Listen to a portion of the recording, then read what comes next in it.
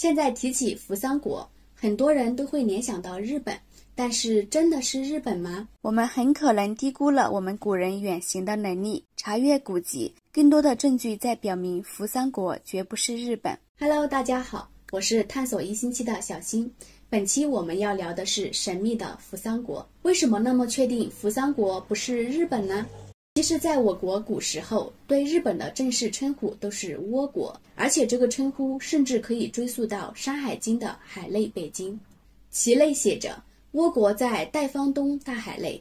代方指的是朝鲜平壤西南地区，在汉代时，该地区被称为代方郡。那么，关于扶桑国的记载呢？在《梁书东夷传》中说，扶桑国在大汉国以东二万里。南史里面记载的是，大汉国是在文生国东五千余里，而文生国又是在倭国东北七千余里。再结合《倭国传》里面说，由倭国至扶桑国，船行一年可至。由此可见，倭国与扶桑国已经是相当遥远了。更重要的是，日本及附近的岛屿也没有类似扶桑的植物，而且日本的史料里面也没有关于日本就是扶桑国的记载。现在我们对于倭国是日本的代称是没有什么疑义的。然而扶桑国很明显不是日本，那么不是日本会是哪里呢？按照这个距离，我们很容易就会联想到一个大陆。就是美洲大陆，而且很多的证据表明，扶桑国就是现在美洲西海岸的墨西哥。关于扶桑国的情况，梁书的《东夷传》中有这么一段记载，就是在公元四九九年，扶桑国来了一个和尚，叫惠生。这个和尚游历我国的河山，到了荆州。当有人问他关于扶桑国的风土人情的时候，他跟人介绍说，扶桑国处在中国的东面，位于在大汉国的往东。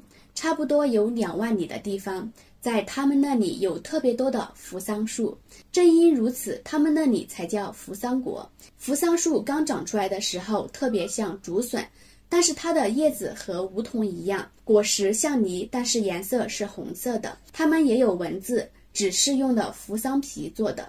在他们那里没有城墙，也没有武器，不会互相攻打，发起战争。刑法设立有南北监狱。犯轻罪的人会被关进南狱，犯重罪的人会被关进北狱。在北狱的人生的男孩到了八岁就会带去做奴隶，生的女孩到了九岁就会被带去做奴婢。而在北狱的人只能在监狱里终其一生。在惠生和尚的描述里，还提到了一个叫对鲁的贵人，这个很重要，到后面我们会聊到。他还描述说，他们那里的牛的牛角很长，能够承载很重的东西。出行的交通工具有马车、牛车、鹿车，在他们那里的人养鹿就像我们养牛一样普遍，还用鹿奶做奶酪。他们那里还有很多的葡萄。金属制品方面，他们那里是没有铁的，但是有铜和金银等。但是因为他们对于金银没有很推崇，所以市场上也是没有怎么流通的。关于婚姻方面，他们那里的相亲形式还是蛮有意思的，就是男方去女方家门外造屋。早晨、晚上打扫干净。过了一年，女方觉得不合适，就驱赶男方；要是觉得合适，就会成婚。结婚时的礼节方面，大致和中国是相同的。根据惠生和尚的描述，文中所述的扶桑的物产和风俗习惯，的确很像墨西哥。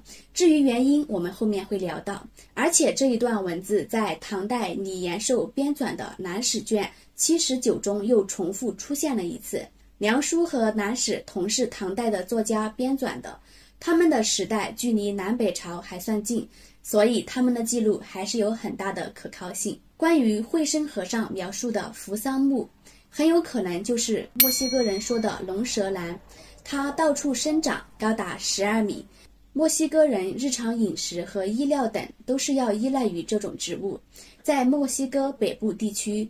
古代有巨大的野牛，牛角是很长的，这些也都符合惠生和尚描述的。熟悉墨西哥的朋友应该会说，古代的墨西哥是没有葡萄的，因为很多资料显示，欧洲人到达了美洲，葡萄的种子才从欧洲输入美洲。然而，有史学家们研究发现，在欧洲人未到达美洲以前，美洲已经有野生的葡萄，就是梁书中说的葡萄。法国人房龙在一九三二年出版的《世界地理》中也说欧洲人初到美洲时，对美洲称为外因南，意思就是葡萄洲，因为那里出产一种葡萄，可以用来酿造美酒。至于关于一些资料显示美洲没有马，是后来西班牙人把马运到美洲去，但是动物学家根据地下挖掘的动物骨骸。证明美洲在远古时期曾有马类生存，可能会生生活的时代，墨西哥一带仍然有马也未可知，只是不知道是什么原因，那些马突然就灭绝了。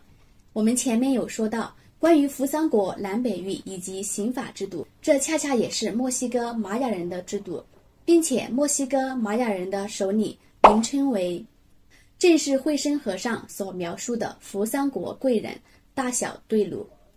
而关于玛雅人的起源，他们的描述也似乎在印证着和中华大地的千丝万缕的关系。不仅这些，在苏联科学院出版的《美洲印第安人》一书中，还证明古代的墨西哥和秘鲁等地会熔炼金、银、白金、铜以及铜和铅的合金青铜，却没有发现任何地方会炼铁的。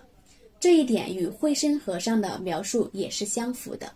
在墨西哥出土的很多碑刻中，有一些人像与我国南京明陵的大石相似，还有的石碑有一个大龟，高八英尺，重二十吨以上，雕着许多象形文字。据考古学家判断，这些显然都受到了中国古代文化的影响。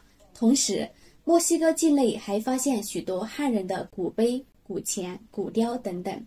秘鲁发掘到了一块古碑。上面竟然刻有“太岁”二字，同时厄瓜多尔也发掘出许多汉王莽古币，而且关于我国古时候和美洲大陆的联系，《山海经》中东山经的山系名称等似乎也给出了佐证。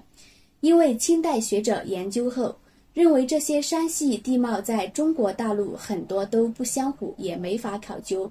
而美国学家莫次研究后认为。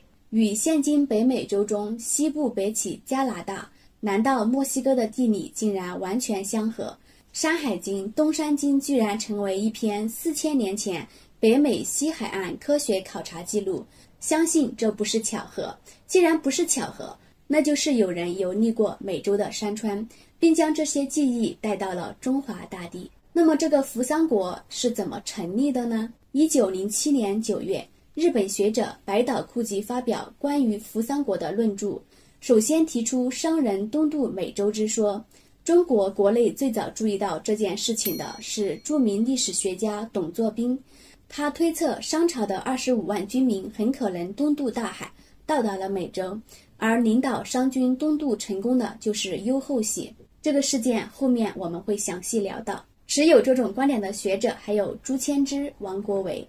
一九一零年。朱谦之完成扶桑国考证，论证了日出国和殷商国的血缘关系。一九五三年，美国的亨利·尔特·莫茨博士发表了名著《几近褪色的记录》，首次宣告中国人在四千年前已经到达美洲。中国太平洋研究会海洋文化专业委员会研究员王大有于一九九二年写了一本《中华祖先拓荒美洲》的书。以大量的事实论证了商末的尤后喜率领殷商军民二十五万人历经艰辛九死一生到达中美洲，并最早的建立了日出国。他们是中美洲玛雅文明、奥尔梅克文明和印加文明的缔造者。一九九六年十一月一日，一个新的发现再次轰动世界。当天的《纽约世界日报》报道。北京商代学术专家陈汉平在九月华府举办的一项美洲奥尔贝克文明展览中，发现一件一九五五年墨西哥出土的拉文塔第四号文物的玉龟，刻有四个符号，是三千多年以前中国商代的甲骨文。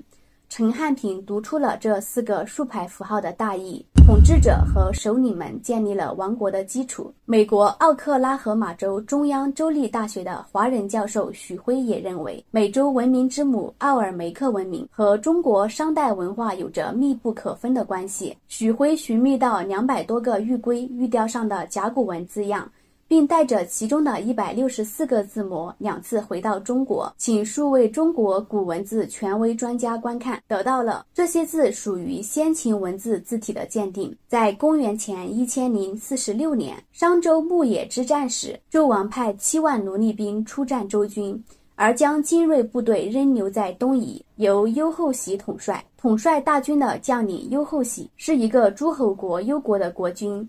其属益忧国，在今安徽宿县附近，是通往江苏淮阴的重要通道。优后喜是纣王宠幸的重要将领，在纣王巡狩和征伐的记事甲骨上都有他的名字。优后喜并未参加牧野之战，然而令人不解的是，牧野之战后，伴随着殷商王朝的灭亡。优厚喜统领的十万英军主力却突然从沿海地区失踪了，同时莫名消失的还有仁方、宁方、虎方三个方国，共约十五万人，成为千古疑案。二十五万人并不是一个小数目。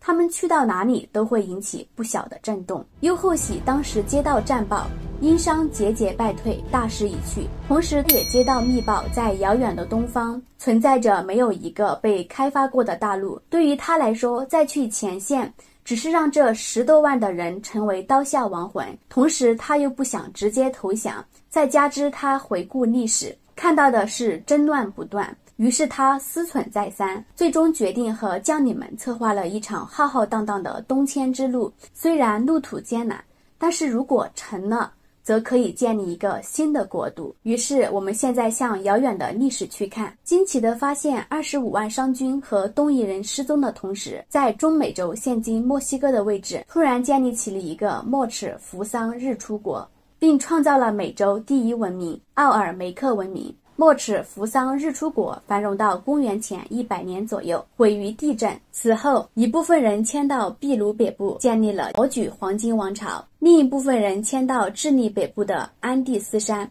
建立了印加帝国。除时间的巧合外，更令人惊叹的是，奥尔梅克文明具有浓烈的殷商特质。被称为印第安人的当地土著居民以鱼蛇为其图腾崇拜，而商时的东夷。正是以鸟为图腾，从中似乎可以看出其文明传承的基因。墨西哥部落酋长所戴的是有羽蛇神的帽子形制，左右分叉有白色的羽毛，其形象与连云港市的将军岩石画第三组中与神人面纹相似。这也许正是血缘关系的再现。人种学家甚至惊奇地发现，中国东部沿海出生的婴儿臀部特有的青色胎记，在印第安婴儿中也是普遍的遗传。此外，美洲印第安人祖先斯毕特拉蒙特贝雕像与1957年在连云港市东海县昌黎水库发现的伏羲女娲交尾图如出一辙。美国东部与墨西哥地区发现的印第安人的扶桑图，则与连云港市东垒模糊山发现的岩刻西河扶桑图很是一致。一九七九年五月，圣地亚哥大学考古学教授詹姆斯·莫利亚蒂给我国著名学者贾南坡写了一封信。三年来，我们进行水下考察，在加利福尼亚帕洛斯费迪斯半岛的浅水中，发现了几件石制品。它们可以古老到三千年前，在北美沿太平洋沿岸没有这样的石制品的任何考古记录，在亚洲却有作为实定的考古记录。此书解释为垂州时。美国学者提供这一材料，表达了这样的一个远古的信息：亚洲人三千年前曾远航至北美的太平洋沿岸。此外，还有一个史料引起人们的种种推测：一八六三年。一位叫布德布尔的学者在西班牙马德里皇家历史学院档案馆里发现了三百年前南达主教所记载的玛雅人的许多传说。称海上神路来过十二个高文化的民族，他们带来了先进的文明。在中美洲尤卡坦半岛上居住的玛雅人。他们自称是三千年前由天国成帝竹州经天之浮桥诸岛到科潘河畔种豆卖泥薯的农民。这里的海上神路和天之浮桥似乎正好暗示了商人的东渡之路。毕竟那是在三千年前，而且是在商周朝代更迭的时期，很多事件容易被忽略。更为重要的是，自一四九二年以来。殖民统治者在美洲杀害了几万印第安土著的同时，也毁灭了印第安、玛雅、奥尔梅克的文明。